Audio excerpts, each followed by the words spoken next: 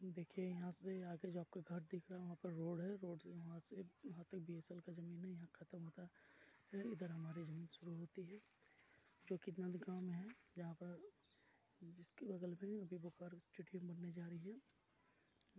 Bokaro stadium के लिए जहाँ तक जगह है, ये सारी जगह उनके लिए यूज़ होगी। और वो जहाँ से ख़त्म हो रही है, उस रोड के इस पर हमारी ज़मीन है, जो कि साढ़े सात एकड़ में है।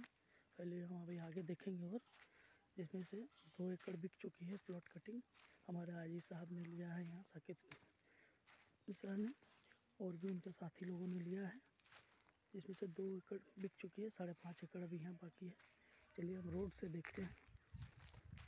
इस जगह को नंदगांव कहते हैं। ये जो घर आपको दिख रहा है, अभी बचने लगे हैं। पहले यहाँ पर घर नहीं थे। थोड़े बहुत घर थे।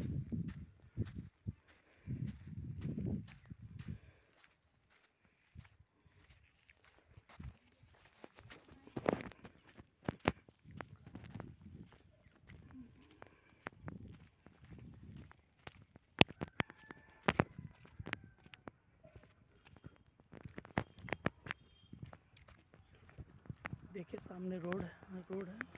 ये।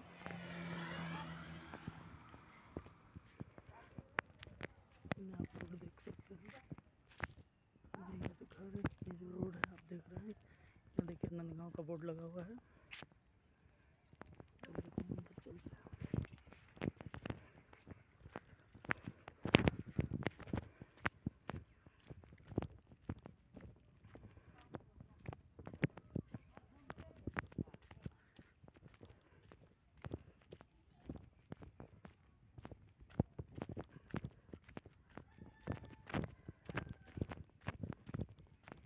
बरसात की वजह से काम बंद थे अभी फिर काम शुरू हो गए यहाँ पर और सारे पेड़ ओड़ ये सब कट जाएँगे यहाँ पर।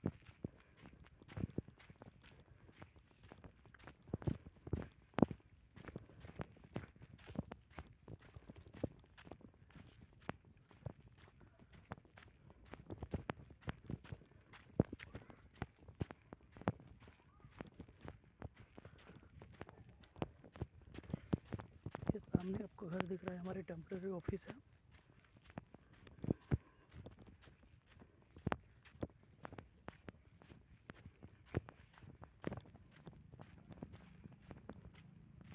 चलिए आइए, हम आगे देखते हैं, किसने किसने ज़मीन लिया और कहाँ तक हमारी फैली हुई है ज़मीन।